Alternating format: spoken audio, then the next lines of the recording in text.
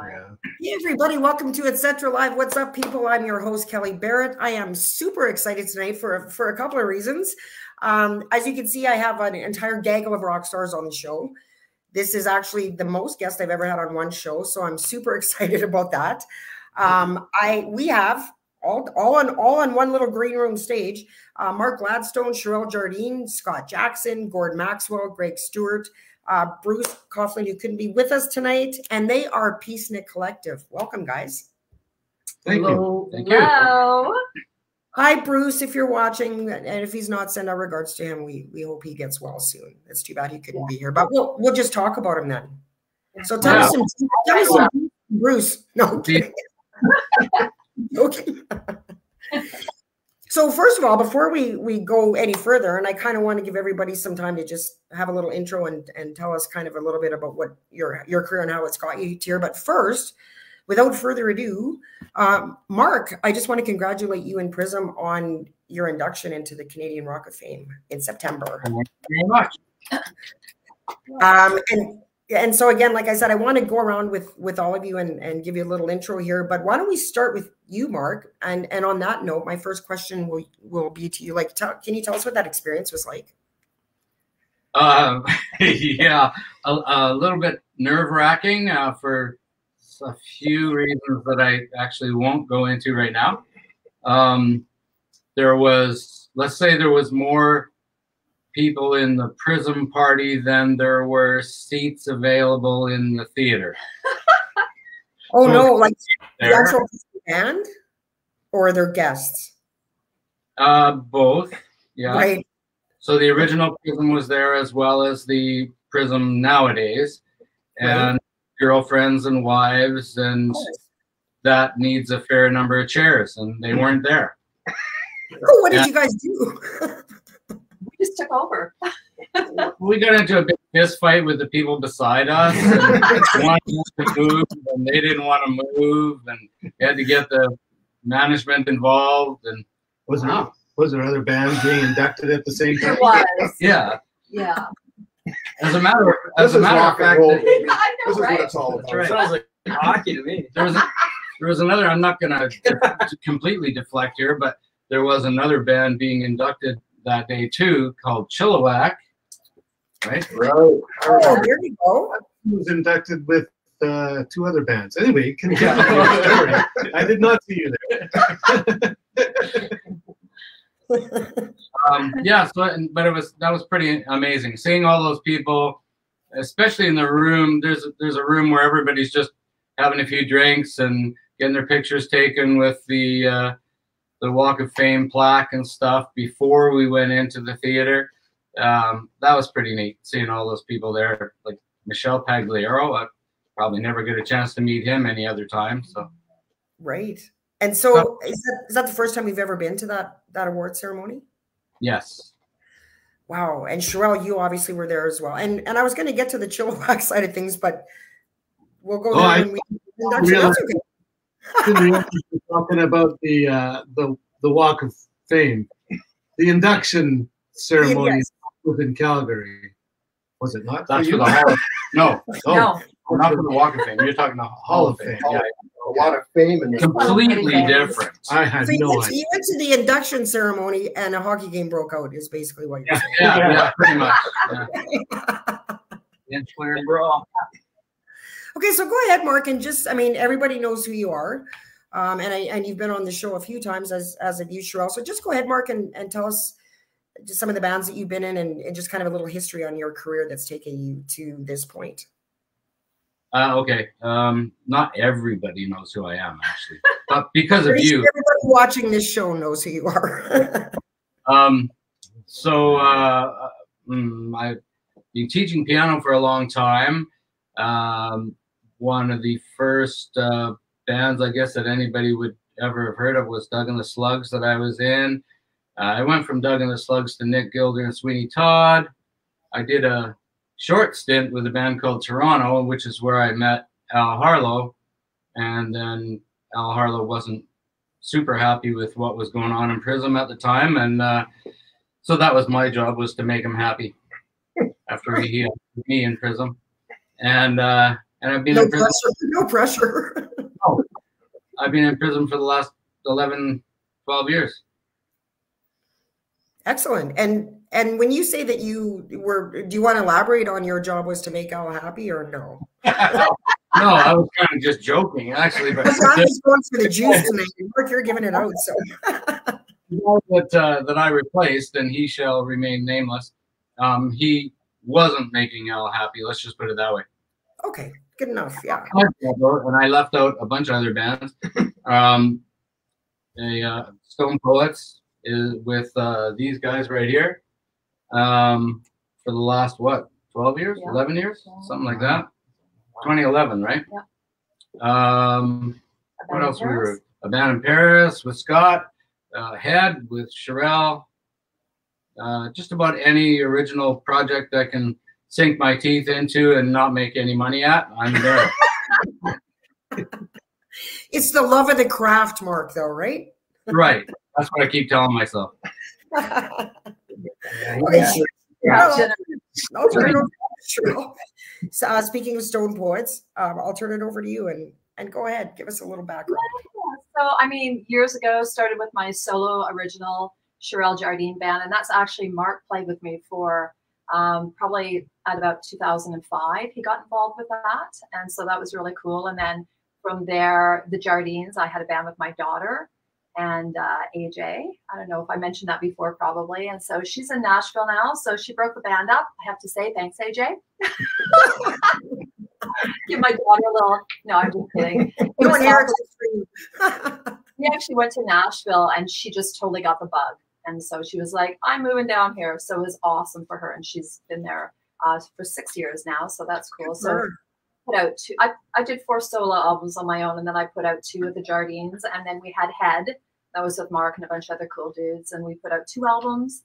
And then Stone Poets, we just released our fifth album. And so yeah, that's kind of where my last um, 20 years have gone, and it's it's quite a quite a journey. I've also been other side of the industry too. So I was in I was like president of the Pacific Songwriters Association, and and kind of did that whole you know other side of kind of helping other artists you know get their legs, and so that was that was great. So that gives me both the right and left side of my brain to kind of you know make my way through this business of music and yeah you need it And you and you also had a, a show of your own, and you did the talk show host thing yourself. I, I did. think I was- Yeah, make a scene. Canada, Make a Scene Canada. Um, that was three years that I did that. So I had people like Jeff Martin.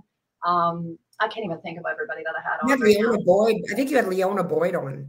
John Boyd. Um, God, this, I should have brought a list. There was so many really great, amazing Andy Canadian Kim? icon. Andy Kim. Andy Kim. Yeah, which actually I ran into him at the uh, induction ceremony. I'm like Andy, and he's like Cherelle. Really- so yeah, but lo- just a really great opportunity to to learn more about what other Canadian artists are doing and and like what you're doing now, right? It's it's Right. awesome. Yeah. It is. It and it's so so neat when you get to meet these people. You know, when you when you do a show with someone and you get to meet them in person.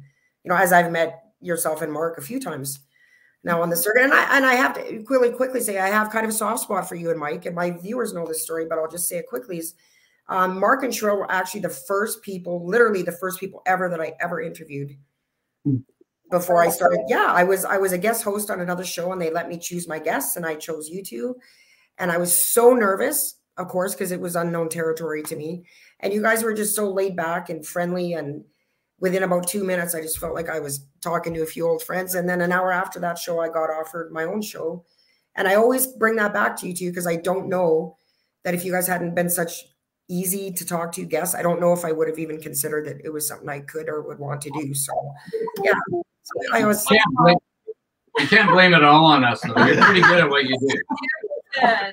Good. thanks, guys. Greg, over to you. Over to you, Greg.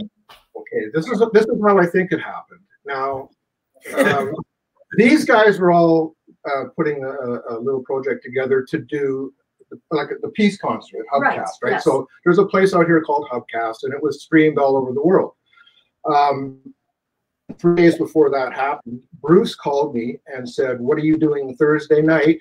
And I said, "Nothing." and he said, "No, you're playing with this band on Thursday night. Here's all the music, have it ready because we're not going to rehearse basically until right before the gig. So that's how I came here. But I started off in Calgary uh, in the '70s. I think I'm I'm the oldest one in the band by far. So I don't care who knows. it. Okay. So uh, I did my first couple of in Calgary and in Alberta, and then I moved out here in the uh, late '80s, and I've been just doing all kinds of things ever since. I played with Bo Diddley out here, and uh, when I was in Yeah. Calgary, I went out on a couple of tours with Frank Mills. No rock and roll with Frank Mills. Uh, you guys, no, yeah, it's- you all for all those. We're all we're all hearing that earworm right yeah. now. if yes. you don't Yeah. know what What Dan? pop dance or something. Oh yeah, yeah. Didn't Paul Mascioli manage him too? Oh, who? Paul Mascioli? No, I know the name. No. Anyway, and so I've been a journeyman uh, player of originals, and uh, I've been an engineer, and I do front of house sound, and we're I'm very happy to be with these people. The rehearsals are fun, I would And- imagine. and I, quite frankly, a lot of bands don't really rehearse that much, and everybody, I'm I'm by far the worst singer in this band, and which is fine, And he's pretty damn good. and I'm okay. You heard the harmonies. I don't think there's a bad singer in this band. I disagree with you on that, but uh, yes, you were. Yeah, no, in rehearsals, we tend to say, okay, somebody, we can't all sing. So maybe you two don't sing this song. Everybody's fine with that. So it's great. Glad to be here. And I'm happy to have you here. And and uh, we'll we'll go over to Gord. What? Wake up. Okay. It's like, Okay, okay. what do you- Wake what up, secrets. I'm gonna hold the list. Two cards. Uh, well, it, wh- when I was a wee boy, no. a wee lad. A wee lad. we had no shoes, but we were happy. yeah. No, I pretty much my my parents put me into music very early, so uh, I went to Edmonton after I graduated, got a university degree in music, and and then I started playing. I started playing with a few different bands in Edmonton, and cut my teeth kind of there because in Edmonton there's all sorts of different kinds of music. There's yeah, I think even to this day, you know, there was there was jazz, there was salsa. I played in a salsa band. I played in this band. And I played every night of the week, like absolutely every night of the week. I have to. My wife teases me because when I met her, when I got her number, I never phoned her for a month because because and she had given up on me because I Were you playing coy? Were you just trying to be coy or what? literally didn't have a night off and for Oh, a month. I played, you know, constantly in Edmonton, and it was a great time. that was back in the '80s, but uh, when I moved to Vancouver um, in '87, it was to join the rebirth of a band called One Horse Blue, which whi- which was doing well, and, and it had a couple of hits or three hits or so in the late '70s. And when I, I was in high school in the late 70s, so my friends had their album and stuff. And so I'd, I'd heard of One Horse Blue. But while I was in Edmonton, I, I started playing with Rocco, who was a member of One Horse Blue. He was, uh, he is, uh, or was the drummer. So anyway, I started playing in bands with Rocco, Tim Fian band and this and that kind of band. And then Rocco moved out to Vancouver and said, hey, you want to join the band that him and Michael were putting back together. So we put one Horse Blue back together and did an album that did very well in the 90s. Had, I don't know, five or six top 20 hits. Um, and, uh, like, uh, you know, it was great. It was a great time until we realized there were so many artists and so many songwriters in the band that it, it just became kind of a mess. Original, I would imagine. you know, just too many cooks. Kind of like this band. Yeah. Yeah. I was gonna say. So it only took 10 years to uh, for Rocco and Michael, who were the original two members of the band from the 70s, to find out they didn't like each other all over again. So so that was that, right? Onwards and upwards. Oh yeah, this is why we broke up the first time. But circle of life. Yeah.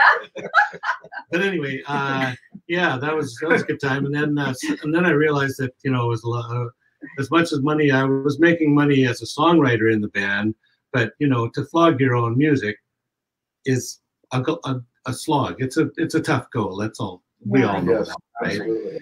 So then it was uh, on to getting a job with Ian Tyson as a sideman, and um, that was 20 years. which, which I went, yeah, wow, which kind of flew by because you know my kids were growing up and stuff, and it was uh, it was a good gig because we only did like 90 dates a year, you know. So um, it, yeah, so um, You also toured with Valdy. Did you tour with Valdy as well? Did you?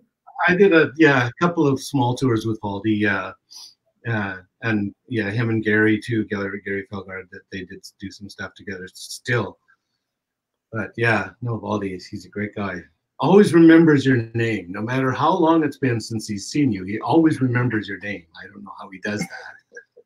Oh, probably- know, he's integrity, class and integrity. Terrible with names, but faces. Are, yeah. classic integrity for sure. So yeah, then after uh, after Ian, um, well, of course Ian passed away, but I, I I was playing with him up until he pretty much stopped playing, and then um, at that time uh, I joined uh, Chilliwack as as the bass player for Chilliwack, um, and it was uh, because Doug uh, Edwards uh, passed away of cancer. so and I had been playing with the drummer Jerry in some other bands, including the Gourds, which was a band put together from Ian Tyson uh, people. Because in the 20 years that I was with Ian, there was two other people playing guitar. One for 10 years, Gordy Matthews from Edmonton, and another one, Gord, Gordon Lee Warden from uh, Nanaimo. And so uh, so when Gordon Lee Warden joined the band, he insisted that we make this band called the Gourds, and we made an album and did a bit of touring and stuff like that. So that was another uh, band where I, you know, got to play original music, which is why I'm in this band because I get to play original music. You- Right. You know, I'll do anything to, you know, play my own songs. Uh, so anyway, after after Ian was the Gourds and then Chilliwack and then we were uh, that's what confused me is because we were inducted in 2019 at, in the Hall of Fame in Calgary um, and Andy Kim and the Cowboy Junkies were, were the other two bands that Nice. were inducted with us so and that was it was amazing but I, I like I tell my daughter it was kind of like getting uh it was kind of like getting traded to the right team at the right time you know, in Final hockey, piece. Yeah. yeah, where they where they win the Stanley Cup, you know, yeah, it's like like Bonino or somebody. Like, I. Nick Bonino has been with three teams and got all these things. Yeah. Um, Great analogy, by the way. I, you know, I mean, obviously, I could be happy because there was 26 members in in Chilliwack, and and everybody got an award. Like Bill Henderson, bless his soul, he's a saint. You know, made sure of that, right? So That's it. I love that. You know, and I, and you you really see that in our Canadian music industry is just that in that integrity that integrity. Pardon me. And I think we've talked about this. I don't know, Marc and Trill, if we've ever discussed this, but just that that camaraderie that exists in the music community now that maybe necessarily wasn't there back in the years where things were super competitive. You know, there Yeah. just seems to be. Scott, would you would you agree with that? Um. Yeah. I mean, because you you were all uh, you know working and touring around back in the 80s and 90s, and I and I was on the road in the 80s too, and I just noticed. I mean, of course, I'm not playing anymore, but I noticed when I come to the shows like Cornstalk last summer, uh, of course, where Prism performed and Chilliwack as well, and to just see the way the musicians interact with each other and they're all rooting for each other, and you know, I and I just I love that. yeah. What's that?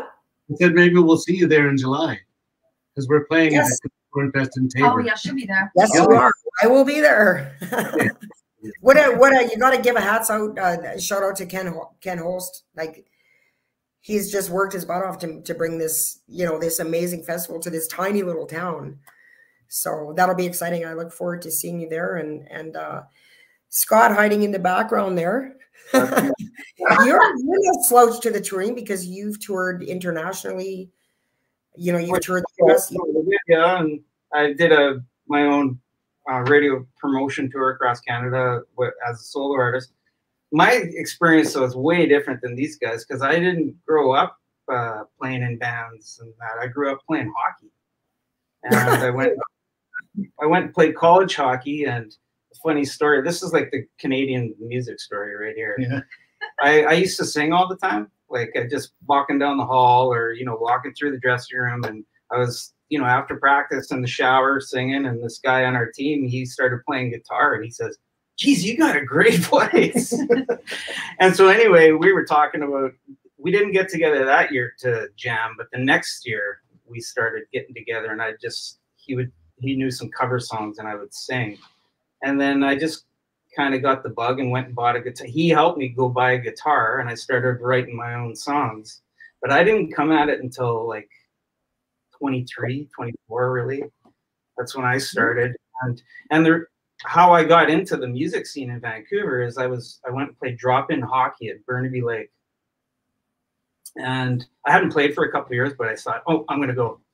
And this guy by the name of Jerry Wong, who's like connected with everybody in the music industry in Vancouver, was there.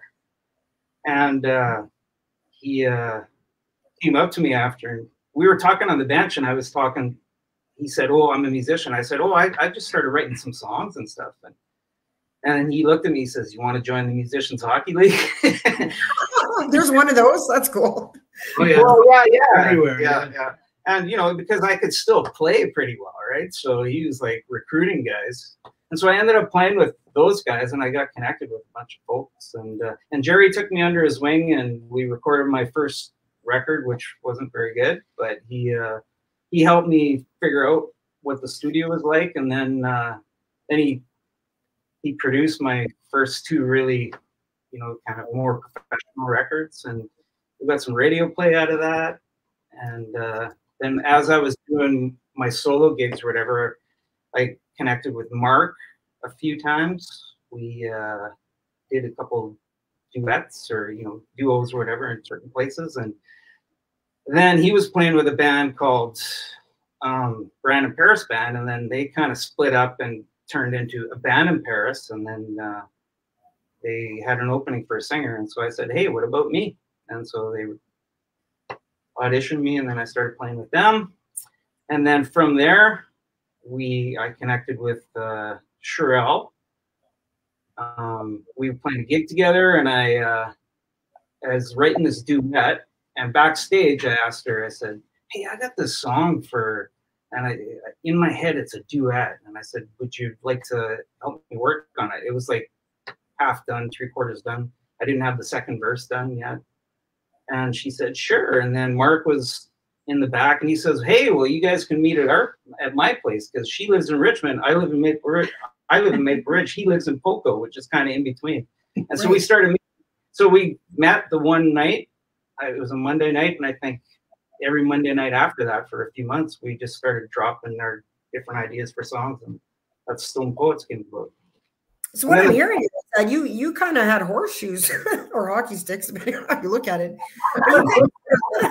you know what? But you know, the, most of the other members of the band, you know, they were out there for years and years, and, and you just kind of sort of fell into it. But the reason I wanted to get all of you to sort of give us that what you just gave us that little bit of background uh, is it's certainly not that people don't know of it already, but to to put together an idea of the diversity and the amount of experience and that that collectively come into this band which i mean what a lineup like when when i first you know Cherelle and i first spoke about doing this show and she sent me the biography of everybody i was like talk about a power band It's mostly Bruce. Yeah. Yeah. Too bad he dared to defend himself. that Bruce for well over 30 years and uh and you know we on and off we oh we get together again here and there lately but uh, uh and then he he had this band called called um what, what was the Beatles thing we had Abbey Oh, Road. yeah. Abbey Road Rockers and did mostly school shows. So he hired myself and Marc and a drummer to to do this Beatles uh, show. And so that's when I met Marc about a year ago, and and it just seemed like uh, Bruce was the guy who went Stone Poets, Gord, Craig, got a band. Totally. Well, actually, actually. Greg was in that Abbey Road Rockers first. That's right. And too. then he heard that we were going to hire Gord, so he left. Quit. Yeah. Come on here. What was the story? I can't remember that now. That sounds familiar. Scott and I met at the jam, right? Yeah. Minor. Yeah.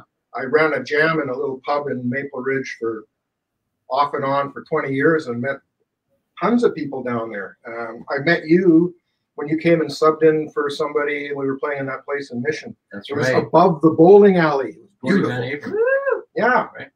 And that was quite a while ago. That was a So great everybody's kid. known each other for a long time. Yeah. Well, you just answered one of my questions, which was going to be, how did you guys all come together? And I think that's been answered. And and to speak to what you guys just said, or what I just said, Ricky Lam, hi Ricky. Ricky's a really good friend of the Oh, show here. Bye. You guys know Ricky? Uh, Yeah. So he's saying, what a great pleasure it is to say hello to all of you. Such great talent all together on the oh, on the best talk show around. Aw. Aw, Yay! That's awesome. Um, I should say Bruce Coughlan, he is an amazing writer, performer as well. Tiller's Folly is, I mean, he's got so many bands that he's kind of involved in, and I should have his bio here so we could read it out. But um, we just, we're really thankful that he actually, you know, put us together. That that piece show that we did, it was cool because after it was over, I went, we could probably take this on the road. And then two days later, he, he goes, let's do this. You know, I was like, oh, well, yeah, hang on a minute. I was just kind of like, I in got the a gig moment. in Ledoux. Yeah, Yeah. LA. totally. So Bruce was was kind of like the the mastermind behind the whole yeah piece. Like, oh, The genius. Yeah. Yeah, well, we did that thing, uh, the Thursday night thing. Yeah. That you, yeah. Yeah, told Bruce you put that show up. together in no time. Yeah. And then afterwards, we I remember talking afterwards, and yeah, the, it kind of came up. Yeah, we should do this more. This whole and this whole theme around peace, Yeah. Yeah, because the world love. really needs it. You? You know, you know, I have to say this because I, I was actually going to mention this, Scott. I have to say that Peacenik, Peace Neck Collective, and like the specific genre of this music, I think could not have come at a better time. I, I really, I really believe that because I think, you know, not to go down the whole depressing COVID lane, but I do think the world to some, the entire world to some degree had PTSD after that, and mm-hmm. now, now things have kind of evened out a little bit. I think now we're we're facing almost the financial repercussions of it, you know, with with the cost of fuel and groceries and housing and all that. And I really have been noticing, I even on social media, I think it's left people really stressed and with some anxiety, and and people seem quicker to, you know, be snappy on social media. And you know, and sure, you post the odd thing about you know promoting the peace and and let's you know let's just you know be nice to each other and all that. And I'm so I think the timing for the band, which has a message of peace and tolerance and love and coming together through music, I, I don't think it could have come at a better time. And I'm wondering, um, and Greg, maybe I'll ask you this: was the timing intentional, or or was it just kind of a happy coincidence that that this came about? Well, I'm not a religious person, but I do believe that everything happens for a reason.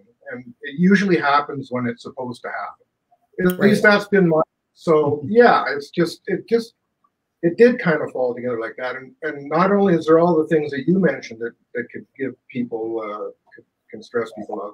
There's lots of, as we all know, geopolitical things going on in the world. It seems like there's no escape from all this right now. So we we thought maybe we can offer some original uh, music and positive music and maybe give people a little escape. Or certainly, as has been mentioned before, there's no money in. Uh, it's not the music business isn't what it was in the 70s and 80s. Of course, right? It's impossible to make money now, even as an original artist, unless you are booking tours and selling merch and getting ticket revenue.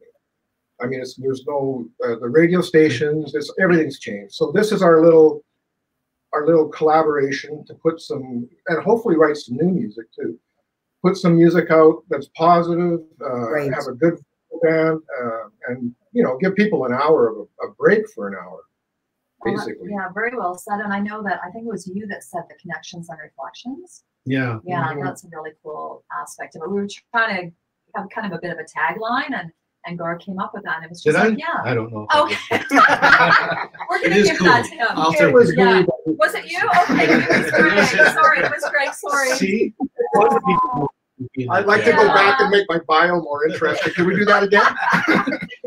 But one thing, one thing that might be uh, intentional is the date of the concert because it does coincide with uh, J- John Lennon's passing. So uh, we'll be doing a couple of his songs.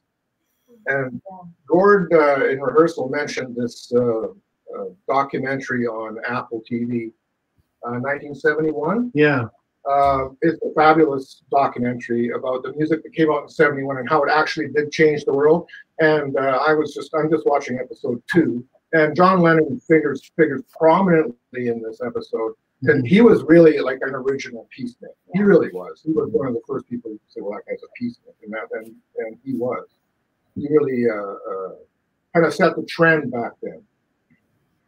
Right, right. And I remember when when he and Yoko did the you know the the album and and and then it, somewhere along the line it seemed like that whole peace movement kind of got lost in the shovel. And I think it's I think it's great that it's coming back. And Cherelle, I'll ask you this: Do you feel that people respond to that message of peace and love and tolerance more so when it comes through music?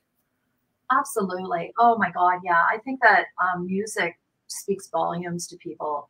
Um, you can, you know, people with incredible, um, you know, pain or, you know, um, if they're sick or whatever, you go to a show and for that hour and a half or whatever, you have no pain. And, you know, it's, it's quite amazing. They use music as tools all the time to help people in different situations, right? Um, I think that you know, us coming together with this, trying to spread the idea of peace and love is going to really catch on. And um, yeah, I don't know. I'm kind of just going off on a tangent here. No, no, no. That's awesome. Because what, what, you know, what basically you're talking about is kind of starting a peace movement. Absolutely. You know, and, and and it takes somebody. I mean, it takes somebody to do that. And why not use your platform? you know, to do that. And that's uh, the show that we were just talking about is on December 8th and it's in Maple Ridge. Um, it's uh, a reason or a, sorry, a season for peace and love and memory of John Lennon. And and so can where do people get tickets for that and what can they expect at that show?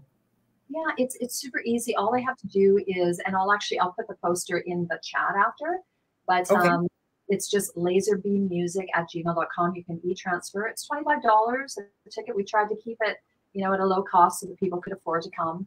Um, you can call 604 306 0632. Um, please don't call me after midnight, but Or or don't make before weird and then you um, you know, if it's local, we can deliver the tickets as well. But um, what can they expect? They can expect a really wonderful evening of people being able to connect with each other and have some really thoughtful, meaningful music and have some fun as well. You know, that jump in guys. Right. in celebration. And Scott, do you think that doing this genre of music, do you think there's a, a difference in the energy or dynamic of the crowd atmosphere as opposed to say, you know, a raucous heavy metal show or a rock and roll show or yeah, I you know I always migrate towards this type of music, um, in that it, it's it creates a lot of uh, reflective uh, thinking. Um, you you you you tap into you know that emotional part of the brain and uh, and uh, make people feel something.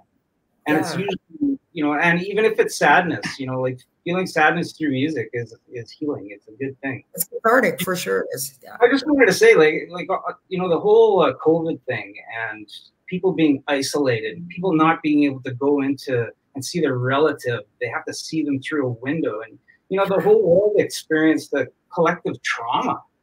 And you know, the, the whole phrase that music heals. This type of music is like a, a great healing tool to to get us, you know, help heal our brains through that trauma. And yeah, I, I think that you know, like people need to expose themselves to uh, this type of music in a big way because uh, it's hypnotic, it's therapeutic, it's meditative. The mosh pit is really weird though. It is. You know, Well, hugging. I don't get it. But Everybody got their incense waving. Marc, you know, Marc, I was thinking, you know, just thinking about the collective talent and experience in this band, I would think that collaboration would be, you know, would be a really interesting, or it could be challenging when you have, you know, like would like the too many cooks things. But I guess what I'm asking is, Marc, can you tell us a bit about the band's writing process? Uh, not yet. not yet. I can't tell you anything about the band's writing process because we haven't written anything together yet. Yet. Stone Poets have many songs uh, of of this ilk, let's say, on Mhm. on their fantastic album.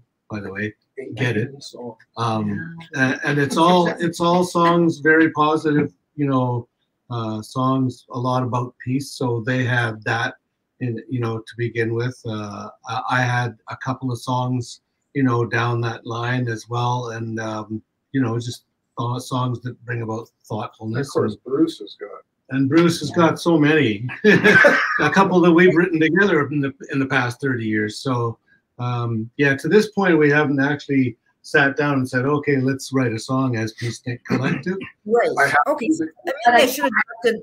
I should have directed that question maybe at you, Gord. Um, yeah, I was listening to "Doesn't Everybody" today. Um, you wrote that song, correct? Yes, along with another writer called uh, named Suzanne Trefina, or Whiting. Beautiful. Beautiful song. Can you tell us about the meaning and inspiration behind that song, from your And- perspective? Oh, inspiration, yeah. Well, um, you know, I I started thinking about. Um, I wanted to write a song about you know togetherness, about about how we're all the same and how we the things that we think are are very important to us in our lives are are fundamental, right? So, I keep telling the story when I first started writing the lyric. Uh, and this was way back in the One Horse Blue days. Like that song goes back a long ways. I started writing that song 30 years ago, and and uh, I started out with a line that said, "When I'm hungry, I eat." And and a friend, a guy who was in One Horse Blue at the time, you know, we're going down the road, and I show, and his name is Jim Foster, who's actually from Alberta, um, foster child, uh, etc. Um, he great songwriter, and and he's he said, well that's not true. You know, a lot of people who are hungry can't eat. and I went, right. I guess I better go back to the drawing board. This is not a fundamental thing. We've got to go deeper than that, right? So yeah. So um, it kind of went into you know more of a more of a spiritual kind of what we need to survive, uh, you know, kind of thing. And it's and it's the same for everybody. Like like on the second verse, I have a color and a creed, and doesn't everybody, right? Yeah. A It's a friend of mine- beautiful, beautiful Yeah. song. And the harmonies, I just, I mean, guys, check out the music, the harmonies. I mean, aside from just the musician musicianship that I can't talk tonight, the harmonies are just impeccable. And and I think you had a you get a really interesting dynamic when you have a female voice, you know, mixing in with the male voices. And and Marc, you so you come from predom- a predominant predominantly rock and roll background. And I'm so I'm wondering, it's you know, it's quite different from the music of of the the Peacenik Collective genre. And I'm wondering, is it a challenge for you to sort of tone it down for a softer vein of music, or or is it a nice change? It's just a pleasant change. I'm, I'm pretty. Uh, um, I'm Scott would tell you. I I listen to everything. Like uh, maybe not the biggest country fan or opera. Oh, I listen. I, I like opera too. So I don't know. Marc Sorry. grew up playing classical music, so Yeah. So I, I do like a lot of bands like I don't know Nine Inch Nails, Tea Party. So kind of on the darker side, I guess. so and we did that with Head. So I guess I got my yayas out there. Like for a few years, uh, playing in Head, kind of got that darkness out of me. Maybe I don't know. But yeah, I appreciate tons of different kinds of music. So I don't know. It's not a challenge, but it's just another facet. Yeah, it's like creativity oozing out a different pour kind of way, and I and I think it makes you just a more well-rounded musician. All of you, like for you know, from Bo Diddley to Chilliwack to Head to Stone Poets to you know, like it just collectively makes you a well a more well-rounded group of artists. And sure, like you, you have this ability to you know to go from belting out high intensity rock songs to literally sounding like an angel. You know, Aw, literally i was listening i was on the on your facebook page and i was listening to some of the the peacenik collective songs and and it literally it's haunt i it's my favorite term and it's hauntingly beautiful and that's how i describe the music. Um because it doesn't it does invoke feelings and it does you know and your voice is it is it's angelic and i and so it's so well suited to this type of music and yet with head you know very different right? And and so is that an easy shift for you? That that's my question. Is it an easy shift for you, or do you find that you you're maybe drawn to one style more than the other, or again, is it about being well rounded? Well, it's interesting. Last time we went to tea party, and I was just like, "Oh, that's my Love thing. that. Oh, I love you, Dip Martin." Uh, you know, just up there and the power of everything, and I couldn't hear anymore, and it was amazing. And but um, honestly, it's not really who I am. Like, even though I've always like, even my solo career, I was like, I'm a rock star, I'm a rocker chick, but I've never really been. I've been more adult contemporary artist the whole time. I love the stone poet stuff. Um, harmonies are really hard for me because I've always been you know, a lead singer. And so, Right. you know, I know Gord's been, you know, a couple of times he's like, oh yeah, no, try this one, Cherelle. It's it's Mm. really work for me. And in Stone Poets as well, Marc writes, you know, a lot of the harmonies. And so I have to really dig into it and, and learn the part because I don't maybe hear it right away. But Right. really, um, That's great. oh, Yeah. so And- sweet. totally opposite for me because I've been a background vocalist and happily all my career until lately, and now they've got me singing one line in a John Lennon song. And it's closing up the. Just broaden your horizons, hey Greg. Greg, what is the best thing about being in Peacenik Collective? Oh, all of it. And I said it the other day after rehearsal.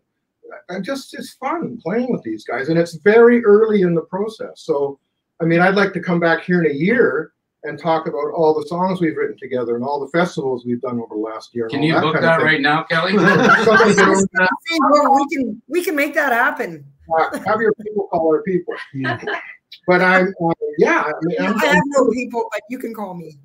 I pretend I have people, but yeah, we have no people. Bruce. Yeah, Yeah. we- oh hey, guess guess who's in the guess who's in the house? Tad Goddard's in the house. Hi Tad. Oh, Hi Tammy, if you're there, sweetie. He's just saying, hey guys, how's it going? We're good. We're good. Hey Tad. Uh Rob Castro. I always have a trouble with this last name. Rob Castro Giovanni. Okay. Okay, he's saying all great bands. My favorite song by Prism is Spaceship Superstar. I keep thinking how awesome it would actually be if you could do a concert in space. and yeah, Wow. Rob's having some sips tonight. no, I'm kidding. then again, Marc had a bottle of whiskey at the beginning of the show, so it's, Right. uh, joke, joke, joke. Uh, so anyway, he says, um, if you could do a concert in space, but my anthem is A Night to Remember. I remember I was in a boarding school and I was sick, so I got to miss a week of school, come home on a Sunday night, but left on a Monday. And now every time I think of that, I sing A Night to Remember. Oh, Yeah. Well, if we do a concert in space, we'll do a night to remember as well. there you go. Um, oh, Tad's saying I was there too. It's We're not- space. No, I think he's, I think Tad's talking about uh, space. tea party. Oh, the tea Oh, party. oh, yeah. Tad's Oh, Tad at the tea party too. Right on. Uh, Tad and Tommy love those two. Uh, UC Uzumaki, hi buddy. He says, "Hey amigo, you look incredible." Oh, thank you. Hey guys, quick question: What's been your greatest moment musically? Why don't we start with you, Scott? Wow. Oh, one moment. Okay. Oh. No Uh, um, You're It's been- wrong. That's a tough one. well, it, um, when you win over a crowd, that's the best. Um, we were playing in Oakland, Oh, damn, I was going to take that one. and uh, we were just doing this uh, kind of West Coast tour of California there, and we uh, went in to do this hospital gala in Oakland, and uh, it was I think there was maybe 200, 300 people in this theater, um, but it was we were the only uh, Caucasian people there uh, in the in the place, and when we walked into the place we had our simple gear. We were we have a simple band, simple formula: two acoustic guitars, a, a mandolin, and uh, a keyboard. We walked in and there was this kick-ass friggin' soul band on stage. They were just amazing. Two front uh, female singers who could just belt it out, and uh, then this band that was just great. And we walk in and we walk in right across the stage because we're told to because it was rehearsal for the for the next night and uh, we walked through, and they, they kind of stopped. Stopped and looked at us. We're like, what are you guys doing here? so anyway, that the next night we went out there and we played three or four songs, you could hear a pin drop until the song was over, and the, we got a standing ovation. And it was great. That was the, my best moment. And and good." comments like, "You guys can sing." and they could sing. My God. Yeah, all right, guy. And he was like six five or whatever. He's like, you guys can sing, man. You can sing. Oh, Oh, man. thank you. yeah. and I think we sold more merch that night than we It was like 50 maybe have CDs. since. It was Wow. insane. Yeah. Yeah. I was just like, ah. But yeah. Um, you go. You go next. Have you got a moment? Who, me? Yeah. I actually have two. One, I'll be real short with this. One was when I was um, in in university, and we had a choir, a university choir that went to Germany, and we went to Salzburg, and we went to the Salzburg Cathedral, where Mozart was, of course, the the big wig, you know, making all the music, and is born. There. I think he was born there. I'm not sure, but anyway, uh, and there was this Baroque mass going on, and, and it was incredible to hear all these original instruments of the Baroque era playing in the mass. Uh, it was a Latin mass, and then we actually got to sing in the Salzburg Cathedral, which was very cool. And the other one was when I played because the Edmonton Folk Fest they they um, every year, and the Edmonton Folk Fest is a big one. They close every Sunday night with Four Strong Winds by Ian Tyson. Mm. And I was playing with Ian, and we closed on Sunday night uh, with Four Strong Winds with Ian, with- and the place just every lighter, like thousands and thousands of lighters went on all the way up the hill. It was, and that was uh, like one of those shiver moments for sure. Wow. Oh, Nope, we lost your hearing. can't hear you anymore. There we go. There you are. There we go. Um, yeah, I was just gonna say, one of those life is good moments? You know, where you just it's just that natural high that that comes. Yeah. and- other than many moments on stage, just even with these guys, where you go, this feels great. You know, I mean, then you just strive for those moments too. But those were yeah. Marc, how about you? Um, w- only one that's coming to mind right now is um, so being a musician, we, we, I'm still a fan of lots of other musicians and stuff. So Right.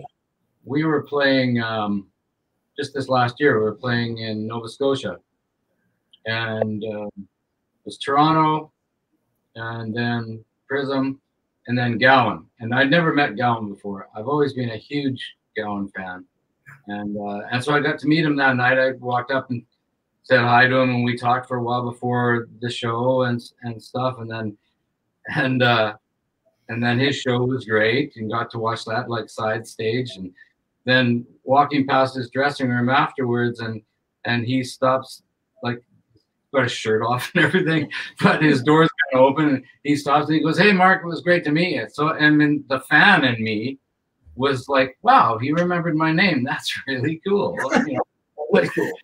And yeah, so that, that's that's a small moment, I guess, but uh, yeah, just you never lose that part of your your musicality, I guess. So, you know, besides Right. just being a musician. I love that because I don't think you ever want to lose that ability to be a fan just because you're around it all the time. Right. You know, I, I yeah, I think it's really important never to lose that. And Gowan, Gowan is he's such a lovely, lovely human. He was on the show too, and we were talking about his show that was coming to Lethbridge, and he's like, "Well, don't buy me." You know, he sent me tickets, and and then afterwards, like he texted me to ask if my seats were okay. I was like, Awesome.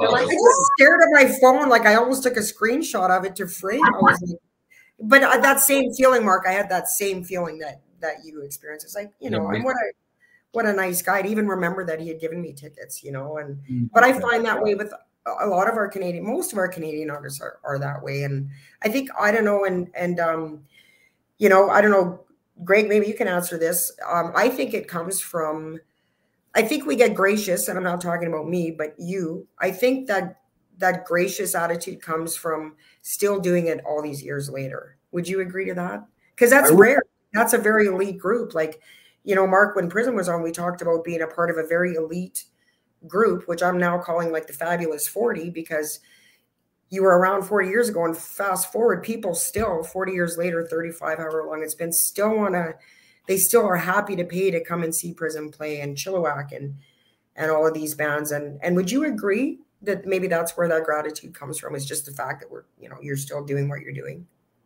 Well, it, it's changed through the years, but for me, yes, I, the gratitude I have for you know my parents sending me to clarinet lessons when I was six was where that started because I didn't start playing drums till I was out of high school. Right. Uh, and then supporting me through the years and the support of my wife uh, to keep going because it's tough because the money's always tough. right. Um, so it's hard, and I've had other jobs through the years too. But once you, you know, you have these, you're talking about magic moments on stage, and I have a thousand of them because it's always the same. Whether it's a little, tiny little room with 10 people in it, uh, or whether it's a festival crowd of thousands going nuts, what makes me happy is when everybody on the stage, something really great happens on stage, everybody looks at each other and smiles. Yeah, you can because they know it. Because this is very Yeah. zen. I mean, there's it, You the live for those. communication is on a different level, and those are the greatest moments for me, especially now, because they're more and more valuable. We've all lost friends lately. You know, the older you get, the older you get. right. And well, I definitely feel very, very blessed to still be, to still be able to play, but you have to put the work. in. I'd just like to add too that I always tell my kids you got to do things for the right reasons. You know, I mean, you, uh, you find something you'll do for free and try to make a living at it. Mm-hmm. And and Good advice. Great advice. and when people uh, tell me, "Oh, you must love music," I say, "Well, actually, it loved me first Yeah. because I can't get rid of it." And and and that's the right reason. I live, eat, breathe, and sleep music. And my my mother used to say, "You should take a week off and not think about music." I go, "Mom, I can't ever think about music. I've always got music in my head. Always. It doesn't matter if probably when I'm sleeping I do too. So, you know, it owns me. Yeah. No, it's, it's not what you do. It really does become who you are. And and so Yeah. Scott, you know, being that you worked in it, you know, for years and years and years, do you feel like now it's become not what you do, but who you are? Right? Oh yeah. Yeah. Um, was that to me or is that to? No, there's you, Me? do, Scott. Oh yeah. Um, you know what? I've always had it had it in me, and it, like, I'll I'll tell you another hockey story. I was playing Bantam AAA hockey, and uh, we used to travel all the way across Saskatchewan. I was I'm from Saskatchewan. You know those uh, icy roads. Oh yeah, I'm from Saskatchewan. Yes. Yeah, and so and I remember on a like the bus, the window used to be really cold. Like, and I'd be sitting in a seat. There'd be a bunch of guys playing cards in the back. They'd have the Ghetto Blaster just cranked on uh, Ozzy Osbourne and you know those bands, like which was you know great stuff. I had in my head, I would recite all of Kris Kristofferson's greatest hits. I'd be Wow. singing it as I'm traveling to our next game. Yeah, that's amazing. Yeah. That's great. I've always had it had music just always in my, like even playing hockey, you know, like hockey's kind of similar. You you have a rhythm going on, right? And Right. I always have a song in my head. Sometimes the song wasn't the best for the, the moment, but, Yeah. Take five. Yeah. but that's just you know. And I played soccer, same thing. You know, it's always have it in have it in my head. I was always singing all the time. Right, right. And I do. I, I think it's born. I think it's born. I think it's in your blood, and then it's just a matter of life circumstances, either bringing it out for you or or we go seeking it. You know, but either way, it definitely is who you are, not so much what you do. And um, I'm just going to go to a few comments because there's a ton of comments coming in here. Um, oh, Sil Thompson is in the house. Hi, Sil. Oh, we love We love Sil is one of the best Bowie impersonators Oh, Yeah. oh on my the God. planet. On the planet. I keep trying to get him to come to Lethbridge here, but um, so I've only I've never seen him live. I've just seen footage, but he looks like him. He sounds like him. He's, you know, he's got the moves. It's incredible. A night of Bowie, if you guys ever get a chance to see Sil. So hey, thanks for joining us, Sil. Uh, Cindy Miller says, such a great collection of talent and integrity. Just what we need right now to help us all heal. Yes, Hey, awesome. Oh, Maggie Hall. Hey, Maggie. Maggie's a local friend of mine. What a fantastic show tonight. Really enjoy hearing from them all. Thanks, Maggie. Uh, Rob is saying, yeah, I wish I was older sometimes so that I could have started in the 70s or 80s. Not that it might not have made any difference. The music biz is so competitive. Uh, Tad, Tad, of course, is from Prism. Marc's bandmate is saying, do you take collect calls? That's not what collective means. No. yes, we do. Go lie down, Cat. Settle down. We love you. Good one, Tad. A little, see, a, a little smart assery on a Sunday night. oh, Bruce is in the house. There he is. Hey, hi, Bruce. He says, I'm your people. Oh, Our people. These are people. Who's our fearless leader? we want to know if you to like take collect calls, Bruce. He does. Uh, thanks for joining us, buddy. I'm so sorry that you couldn't be here, but I have a feeling that we're all going to be back here next time talking about new songs and tours and stuff like that. And and you will definitely be in on that. So there's no getting out of it. Just saying. Corey Crisco, uh, hello, you beauties, all of you. Uh, Doug Corby, hi, buddy. Um, Dino Vizzuti, hello, Kelly and Peacenik. Great sound you all have. Love it. Awesome. Uh, oh, and Bruce is saying, I'm assuming this is a smart ass response to do you take clock calls? He says, not a chance. Yeah. Uh, yeah, we collect calls. So, um, you know, we were talking earlier about um, Prism getting and Chilliwack getting on the uh, Canadian Rock of Fame. And so I want to give a shout out to my show sponsors, Writers and Rockers Coffee Company. So tonight's feature coffee, I think the light is, is Lee Aaron's Body Rock. So uh, first, Lee Aaron was also inducted into the Canadian Rock of Fame. So yeah, shout out to Writers and Rockers Coffee. Uh, I guys, with Christmas coming, I gotta say, what a great gift for I mean, who doesn't love coffee? Um, so check it out, www.writersandrockerscoffeecompany.com. They've got all your favorite rock star endorsed coffee blends. They've got merch. I've got my Todd Kerns Damn It mug here, uh, t-shirts, all kinds of cool stuff. So huge shout out to them. Um, also, Cherelle, we should give away some free tickets to the comedy club. Let's do that. So here's a really tough question. You have to name one band that each of us have been in. That's how you're going to win. That's how you're going to win. That means you need to name six bands. Or well, Bruce isn't here, but we're going to include Bruce anyway. Well, they So, can't- coffee- Oh, no. Okay. So yeah, the first person to to name a band that each one of these guests have been in, all six of them, and that includes Bruce Coughlan too. Is it Coughlan? Am I pronouncing that? right? Coughlan, uh, who is not with us tonight and does not take collect calls, um, will win the four free tickets. So thanks, uh, huge shout out to James Bariza and Good Times Comedy Club for graciously giving us the tickets. Um, well, I got one more question for you guys, um, and I'm going to ask each of you this one. I'll start with you, Marc. Um, so where do you ideally in a perfect world, where do you see yourself in five years? Like either, you know, with Peacenik Collective or just in general? If you could wave a wand in a perfect world. that answer has changed so much over the years. That question's different than it was like five years ago. Um, five years from now, yeah, I, God, if I could still be doing what I'm doing right now, that would be amazing. Um, big, I love doing big outdoor festivals. If that can keep going on, and I love recording, I still want to do that. Um, you know, and world domination. and world peace. World peace and domination collective at the same time. Good stuff. What would you say, Cherelle? Uh, well, we just released a new album, Human. So Right. if anybody is interested in that, go to stonepoets.ca and you can find out all about it. You can buy, Um, yeah, you can buy the hard copy, Yeah, but we haven't released it. Uh, that's right. We have not. It uh, January 31st, it yeah. drops on all the platforms.